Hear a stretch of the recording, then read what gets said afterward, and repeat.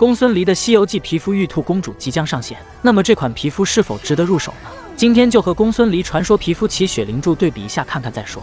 首先说说展示动画，虽然画面上齐雪灵柱会更华丽一些，但动作上还是玉兔公主更丰富一些。看到玉兔公主的舞蹈，就能想起八十六版的《西游记》玉兔精。前世之缘，今生之遇，岂能更难？游戏中普攻齐雪灵柱有雪花的效果，但玉兔公主的效果也不差。被动标记展示的效果，玉兔公主用兔子展示更有趣味性。一技能特效的展示上，两款皮肤各有特点，个人更喜欢奇雪灵珠的效果，或许这也是皮肤贵的原因。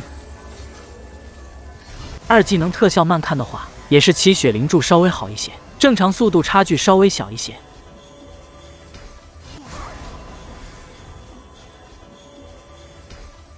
三技能特效，玉兔公主地上显示的效果没有齐雪灵珠立体，其他就五五开了。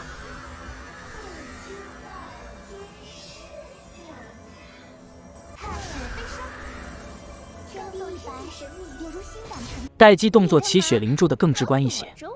两款皮肤各有特点的地方是，奇雪灵柱有回城特效，玉兔公主遇到孙悟空会长出耳朵。总的来说，玉兔公主是一款不错的皮肤，而且通过活动可以最低五百多点券入手。但是公孙离这个英雄很多玩家玩不好容易导致皮肤成为摆设皮肤只是装饰未来还会有更多好看的皮肤所以不是特别喜欢公孙离的玩家可以不必要立马入手。前世之缘今生之遇岂能更改